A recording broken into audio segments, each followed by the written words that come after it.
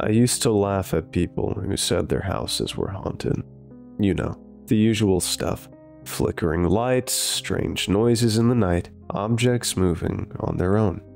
I thought it was all just a mix of paranoia and an overactive imagination. But then something happened in my own house, and I'm not so sure anymore. I had just moved into this old two story home in a quiet suburban neighborhood. The place wasn't anything special 1950s architecture, hardwood floors that creaked when you walked, and an attic that the previous owners said they never used.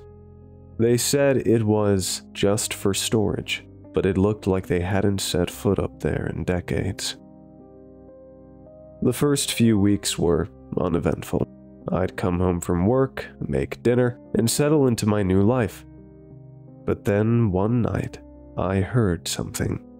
A faint scraping noise, like wood rubbing against wood. At first, I brushed it off as the house settling.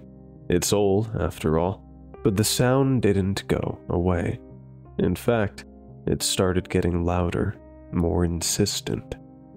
It was coming from the attic. I'm not proud to admit that I ignored it for a few days. I didn't want to know what was up there, and honestly, I assumed it was just a rat or something. But then, one night, the noise changed. It wasn't a scraping sound anymore, it was more like footsteps. Slow, deliberate footsteps, pacing back and forth above my bedroom ceiling. That night, I couldn't sleep. I just lay there staring at the ceiling, listening. I kept telling myself that it was my imagination, that old houses make weird noises all the time. But deep down, I knew something wasn't right. The next morning, I decided to check it out. I grabbed a flashlight, pulled down the rickety attic ladder, and climbed up. The air up there was thick with dust, and the wooden beams groaned under my weight. It was exactly what you'd expect an old attic to look like. Boxes piled in the corners, cobwebs hanging from the rafters, and that strange, musty smell. But there was nothing unusual. No sign of animals, no broken windows where something could have gotten in. Nothing. I figured I must have been hearing things. But as I turned to leave, something caught my eye. On the far side of the attic, partially hidden behind an old dresser, was a small wooden door. I hadn't noticed it before. It was about three feet high, like a crawlspace door, with rusted hinges and a thick padlock hanging from it. I didn't like the look of that door. There was something about it that made my skin crawl. But curiosity got the better of me. I walked over to it, bent down, and tried the padlock. It was solid, unmoving. I gave the door a shove, but it didn't budge. The thing was sealed tight. I left the attic that day, trying to put it out of my mind. But the footsteps didn't stop. In fact, they got worse. It was as if something or someone was pacing right above me, night after night. Sometimes it sounded like two people walking in sync, their footsteps echoing through the house. Then the knocking started.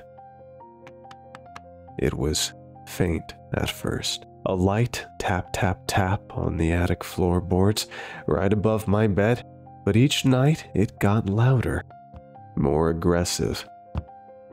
One night, it sounded like fists pounding against the wood. I was losing sleep. My nerves shot until I couldn't take it anymore. I called an exterminator, thinking maybe there was some kind of animal infestation I wasn't seeing. He came by, checked the attic, and said there was no sign of rodents or pests. But when he saw the small door, his face went pale. That door shouldn't be there. he muttered, almost to himself. What do you mean? I asked. I've seen a lot of houses like this. That's not a crawl space. It looks like someone blocked something off, locked it away. I didn't ask any more questions. I didn't want to know.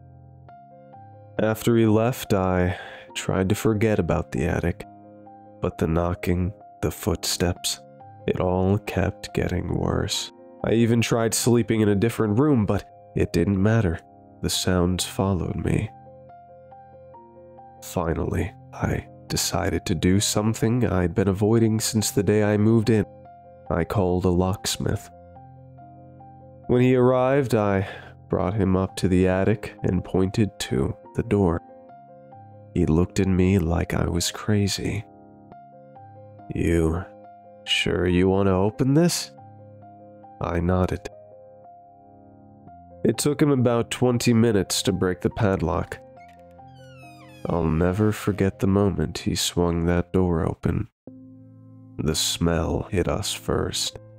This rancid, sour stench that made me gag. But what really got me was the space behind the door. It wasn't a crawl space. It was a small room, barely big enough to stand in, with no windows, no light, and dirt covered walls. And on the floor, I saw it a small wooden rocking chair turned over on its side. I didn't stick around after that. I grabbed a few essentials and left that house within the hour. I sold it at a loss a few months later to a guy who didn't ask too many questions. But sometimes, at night, I still hear it that faint sound of footsteps pacing back and forth just above my head. I live in an apartment now, no attic, but the sound, it follows me.